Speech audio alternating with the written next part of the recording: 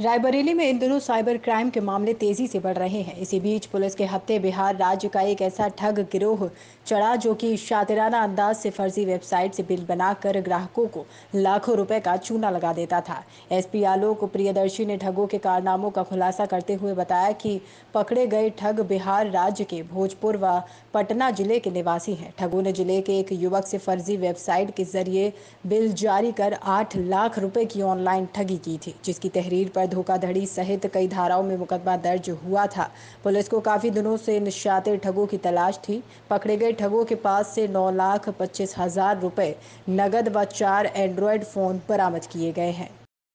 देखिए आज एक बहुत अच्छे साइबर क्राइम करने वाले गैंग का भंडाफोड़ बछावा पुलिस के द्वारा किया गया है। आ, मैं आपको बताना चाहूँगा कि अभी कुछ दिन पहले एक प्रदीप नाम के व्यक्ति ने थाना बछरावा में एक मुकदमा लिखाया कि उनके साथ ऑनलाइन फ्रॉड हुआ है।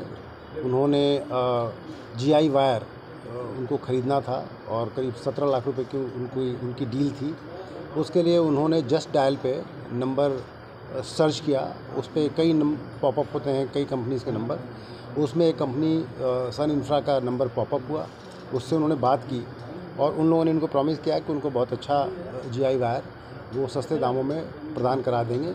उनकी बातों में आकर के उन्होंने आठ लाख रुपए उनके अकाउंट में एडवांस में जमा कर दिए और बाद में वो वायर नहीं आया और वो वहाँ से कंपनी भी गायब हो गई। जब इस बात पे उनको शक हुआ तो उन्होंने थाने को सूचना दी। थाने में मुकदमा लिख करके थानाध्यक्ष बछरामा और उनकी टीम के द्वारा इसमें जाँच पड़ताल की गई।